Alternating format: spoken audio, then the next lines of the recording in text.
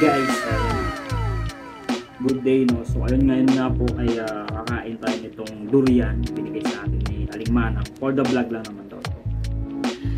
Sana all.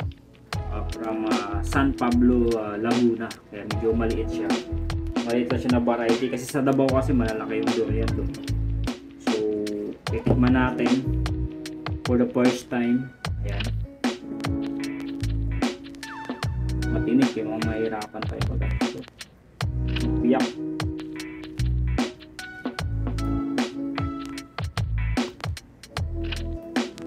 Yung mga palag pa to, ayun.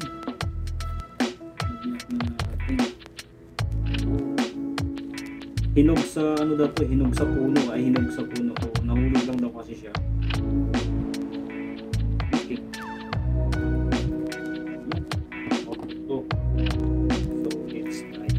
Siya, nabiyak natin. Yan yung laman. Titikman nga natin siya ngayon guys. Mapalag pa rin siya sa akin. Yung lasa nitong durian from San Pablo, Laguna. As you can see. Kung masarap siya.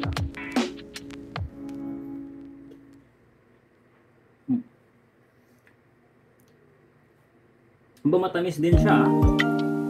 Hmm. Ito isa pa yung mamaya pre, tikman mo to pre.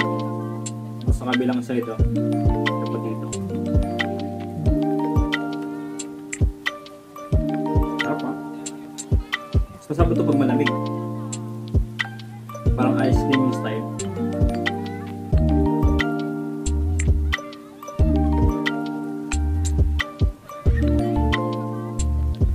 Ang lalaki ng buto.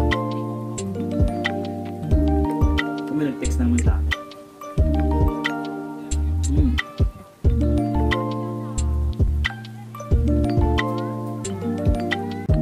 Eh, kinain ko ng kagad, hindi ko pa na-explain yung benefits nitong durian pala. Actually, marami, ito, nasugatan pa ako. Marami kasing health benefits itong durian, guys. Yan, ah, unang sa dito ay nabubus nga daw ito ng ating ah, immune system. Ayan. Siyempre, nagpe-prevent daw ito ng cancer. Sa maraming health benefits na na-research ko. At syempre, ah, pampatigas din daw ito ng buto natin. At higit sa lahat ay pampabata din daw ito. Sarap ah.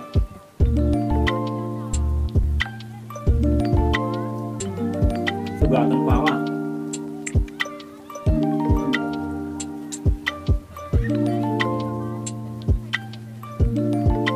din siya. Pero di pa ako nakatikim ng sa Davao talaga.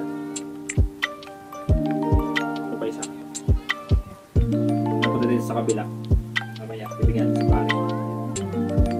Kalahati pa siya. Ang tutulis ng buto.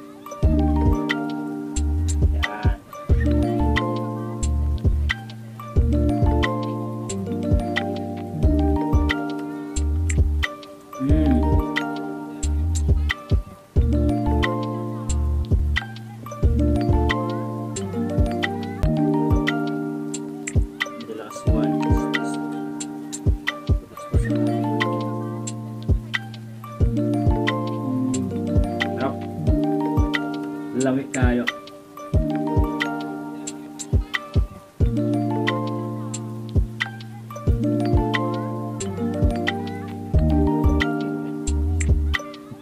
So that's it for today's vlog guys and bye bye and see you in my next mukbang or video. God bless.